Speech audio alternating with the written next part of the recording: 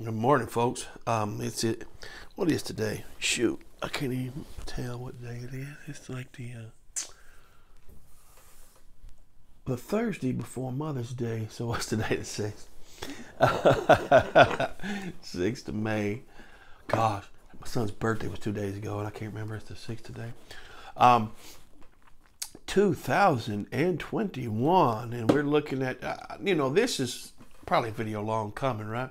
This is a, a, a game that I'll be honest with you that I loved years ago as a kid, and um, loved this game. And I haven't played this in a very long time. It was the one of the first games. It wasn't my first solitaire game. That's like you know B seventeen Queen of the Skies, and then I think um, even Ambush I think was before this, but this one probably made such an impression on me to where after I played this.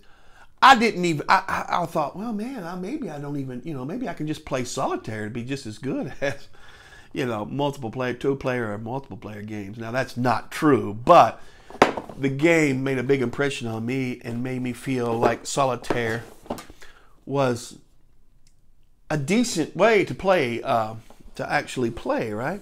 And that is Mosby's Raiders from Victory Games, and it was designed by Eric Lee Smith. Um, uh, this this was a new game when I had it. It's beat up now. Um, it's been beat up. Man, it's been with me a long time. But the game, well, you can read the blurb on the back. Mosby's Raider, Raiders puts you in, in command of the partisan Rangers.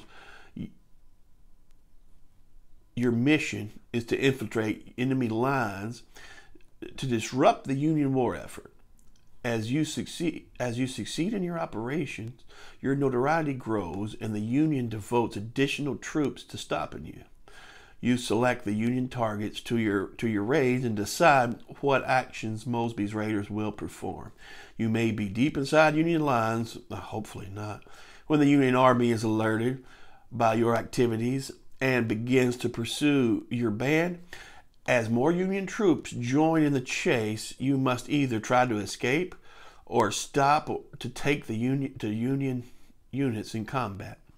Events beyond your control may lead to Union sweeps that diminish your Confederate support, or you may find yourself gaining unexpected reinforcements. All right, so yeah, that, that, that, that's pretty much it. So Mosby's Raiders, you know, obviously about Colonel John S. Mosby, who was himself a. Here's some of the the, the, the, the counters okay. Um, typical counters of uh, the time, mid 80s there. But, but they're okay. There's your railroad. You bust up a railroad. That was some cool stuff. But um, one thing I thought was cool was that there's a stand up, a standee here, which represents, right there he is, Mosby's. And where's the standee? Is it even in here? Oh, there it is. There it is. There's the stand. You stand and you put it and you put it on the stand so you know where Mosby is. And I thought that was kind of cool for the day. It kind of stood out. Uh, um, you know, here's when you bust up a railroad track, it's going to look like that. Which you're going to do a lot of stuff like that. This is not like big battles, right? But you are. Um, you're you're doing you know is is guerrilla or as we say it guerrilla op operations right? Little war. And um, these cars ah, the cars had so much these were the flavor cars i think.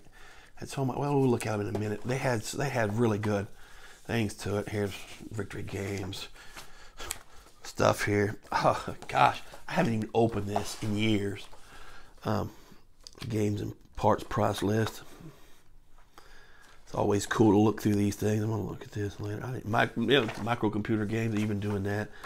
Victory Games did um, some good stuff from um, Avalon Hill.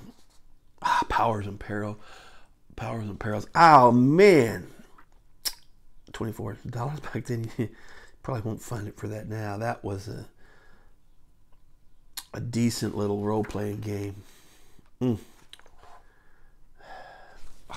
James Bond stuff. I like that stuff too. All right, man. enough of that. We'll go back to Mosby's Raiders. All right, so rule book. Let's look at the rules real fast. Table of contents. It's one of these weird things. You think you're never going to forget rules to a game like this because it was simple. It's not hard whatsoever, but I forgot a lot of it. Uh, but I remember some things that I used to try to do in there that you can do. You know, some ahistorical stuff I would try to do. Um, I always like, you know, games about Confederate raiders are not. There's not just legions of them because they are. It is a hard game to make. Um, Johnny S. Mosby, Colonel Mosby, was kindly of a um, an odd guy, right? He um, after the war he was uh, a Republican and um, didn't go to a lot of these Confederate reunions they used to have. Um, being actually a lot of politically opposed to a lot of the stuff that the old neo Confederates used to do, right? And um, so he was kind of an odd guy. Another oddity about him, not odd, but another thing about him is uh, George Patton knew him when he was a when he was a young boy. He used to visit the Patton Ranch out there in uh, California, wasn't it? So General Patton, you know, uh, knew of him when he was a child, which is very interesting, right? Uh, how much that influenced his thoughts on warfare? Probably very little, but it probably did make a huge impression on him as a child. So, sequence of play, you get the preparation sequence, place Union un, Union units in a container. Um, determine Union awareness, that was a good one. Place Mosby's in Mosby's Confederacy. I do believe it's kind of a map of the Shenandoah Valley mostly. Place Mosby in Mosby's Confederacy. Move Union units outside Union lines. Recruit Mosby's Raiders. That's a big part of this game, recruiting and doing things daring enough to want people to recruit, right? Because that was the whole idea of a lot of these raiders, whether it was uh, John Singleton Mosby or whether it was like uh, John Hunt Morgan in Kentucky or uh, Captain uh, Quantrill up in Missouri, um, or you know after Quantrill's death, uh, Bloody Bill Anderson and those guys. Um, or even like uh, Nathan Bedford Forrest um, in Tennessee and, and, in Kentucky, in parts of Kentucky as well. Um, Raiders was it was kind of an odd thing because people joined because they were the they were kind of notorious and they were notorious. I mean, you talk about some of them, man. Um, Quantrill out there in Missouri and over in Kansas, man. I mean, you talk about the stuff that uh, that, that he did. I mean, um, just really, really uh, bad stuff, to be honest with you. And and later, even some of those same guys was in the what was the old Confederate Secret Service, which was operating out of Canada, which we don't talk a lot about um, because we don't know a lot about it. But we know there was just some very odd operations going on. Um, what was it, Doctor Luke Blackburn, with some um, trying some biological warfare trying to spread was it wasn't malaria was it? Maybe it was maybe it was yellow fever. I forgot. Trying to send clothes to abraham lincoln president abraham lincoln um, that, that contaminated. Um, robbing banks up from canada and moving back into canada to get away from uh, uh, um, union officials right? And a lot of odd things. A lot of those guys had had served in raider units and so um, they were not so much of this um, Southern gentleman type of a thing. They they they just weren't in a lot of ways. Uh, but as far as what people thought of in their mind as typified the daring and the and the dashing and the gallantry. They thought it would be these ra- these raiders, and so you had to do gallant and dashing things. Pick random, pick after recruit Mosby's Raiders, pick action cars. Random event cards, that was always cool. And then Mosby's operations, right? Then you go to rounds. Rounds is much like, if I remember right, much like um, ambush, where you go to rounds and you're going in a fighting sequence. Because a lot of times, what you're trying to do, you go to rounds, is is not fight, get away. Right? You want to do an action and get away, and you've got Yankee cavalry cat uh, chasing you. They catch up to you, you know. Watch out, right? Um, so the the rounds would be determine initiative. All right. Check for union activation. All right. Perform actions. And um, and then the end of turn sequence. So yeah, um, I'm talking a little too much. I just play this game so much. I always enjoy it. The good commentary on here is by Eric Lee Smith, who does who's done really good things on um, other games on the war uh, between the states. On uh, this Pea Ridge game was a good game. I believe he did Pea Ridge, right? I think so for for SPI. All right. Um, look at that. I'm not even. I haven't used that. I just. I don't know why it's even in there. I didn't wasn't aware that it wasn't. Here, let's look at this map. The map was always this colorful map, right? Um, you don't have to know very much about John Mosby to appreciate this game, but I, I learned about it just because I like this game so much, right? That was back in the day, and uh, there's the map. It's point to point, right? And I'll tell you what I what I used to do. If I can show you on here, colorful thing and nice map actually, but I'll show you what I used to do. And it was, and why I used to do it? Because I just did. If you want to look at here, that is around Washington D.C. Right, and those are uh, heavily fortified places. All right, those those blue hexes, which is not a hex, but if you see those hexes, they're heavily fortified and getting around there is just bring death. And so I always had like this weird thought of what if Mosby's Raiders, because the farther you go up here, yeah, you, you, some of those blue lines, you make Union lines, and your Mosby's Confederacy keeps shrinking as the game wears on, as it should. But I always used to want to go up here and like, what would happen if you did something crazily ahistorical and made a march on Washington or something? It's not going to work out good for you. but it's um, just always that kind of stuff I used to like. Um, yeah, point to point. I remember, if I remember correctly, the setup is different each time. I think you draw for a setup. The setup's different each time. Um, Potomac, right? And so sometimes you're you're you're trying to gain recruits. So you're doing these daring things. You know, make a pinprick. Um, burn a bridge. You can burn a bridge. You can break up railroads. You can do this. And the cool part about it was, like I said, it's not really it, uh, uh, guerrilla warfare, especially during the Civil War, is kind of different. It's kind of hard to, to get to.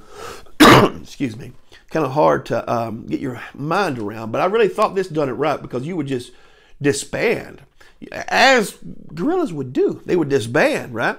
And so when they would disband, um, you know, they'd go home and whatnot.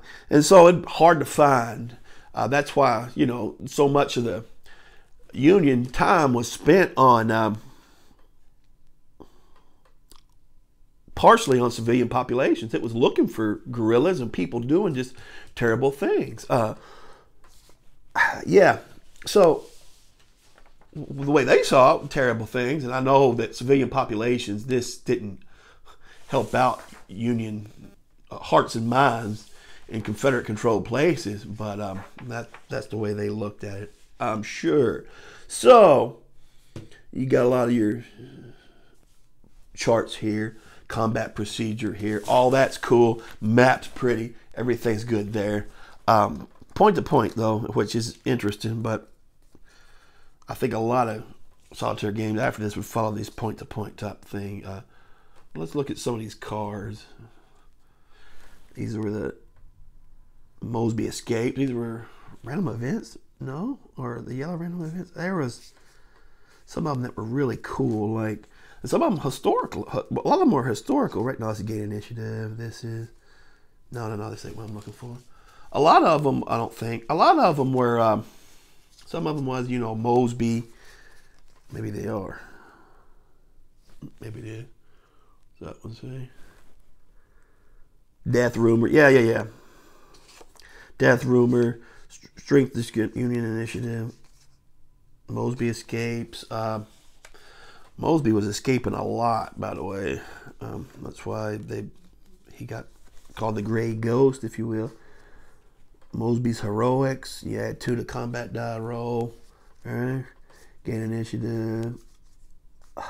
There was some of them that would be like, um, me paddle, me dog, my little dog, my little chihuahua. There would be some of these that would be like, uh, I need to change these rubber bands. You know, if you've ever, I'm surprised they haven't gelatinized, right? If that's what you call it. Um, but some of them were like, you know, one of them, the cars was like a place like, yeah, this is setting up your union stuff. A lot of this, a lot of this is going to. Uh, one of the cars is like um, Mosby attends a wedding, which was historical, right, at the time. So a lot, of, so a lot of the stuff that was in here was Mr. Eric Lee Smith did his work for it, and, and I think sometimes it gets a bad name. It's a good game. Um, I played this a lot, you know, years ago. I haven't played it recently, and I don't plan to play it recently because I got Patton's Best set up. I'm playing it right now. So, uh, but I just got to thinking about it. I think I haven't done a video on um, Mosby's Raiders, which was, believe it or not, this game right here. Even though it don't get the pub that some other games get, uh, solitaire games get, this game here really opened me up to the idea of playing solitaire. And still to this day, I love solitaire, right? Um, you know, when I can't play with somebody else, there's always solitaire. Solitaire. So there's never an excuse. So that's it. Um, all right, folks. Talk to you soon. Be good. I've talked too long. Y'all be careful out there. Bye bye.